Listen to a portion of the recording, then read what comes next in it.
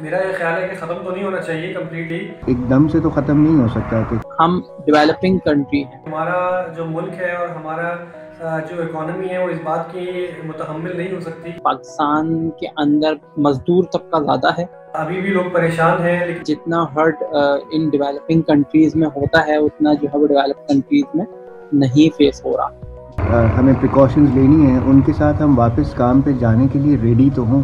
Different S के ऊपर और डिफरेंट प्रिकॉशंस के साथ uh, यहाँ पे काम करना चाहिए। रेस्टोरेंट्स में शॉपिंग सेंटर्स में बिजनेसेस में शॉप्स में मार्केट्स में क्या एस इम्प्लीमेंट होने चाहिए कि ऐसा नहीं है कि आप पहले दिन ही सब कुछ ओपन कर दें जिन इलाकों में कोरोना के केसेस निकले हैं।